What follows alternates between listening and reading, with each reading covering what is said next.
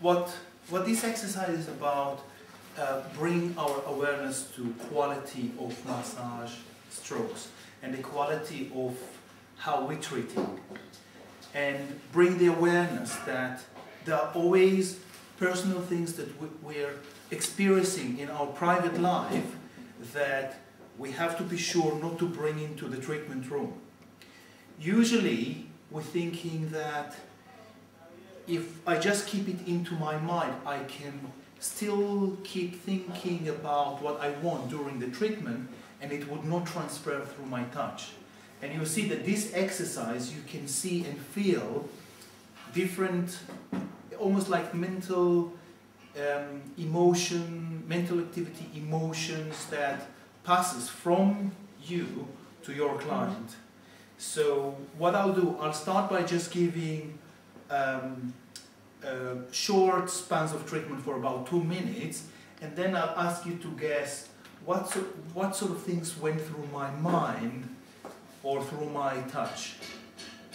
Okay, so let's start with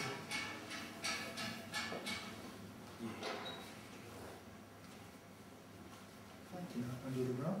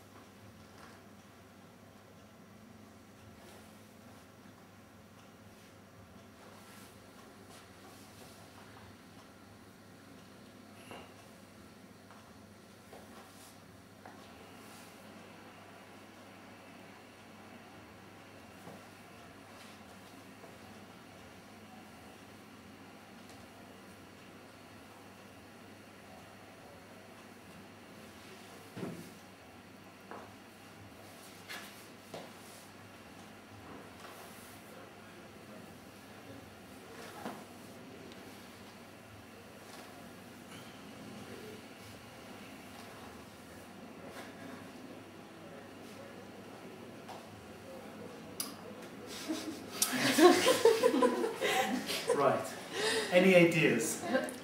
You wasn't really. You weren't really into it. You weren't connecting.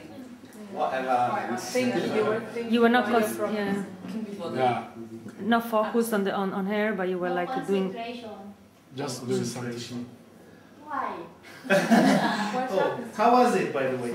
Ah, horrible. That, it, that's you feel. Yeah. Yeah, it's all over the place. Yes.